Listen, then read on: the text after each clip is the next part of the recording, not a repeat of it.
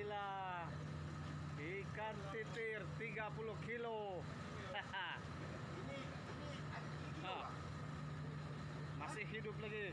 Ada 3 kilo ah. Lebih, kan? lebih nih.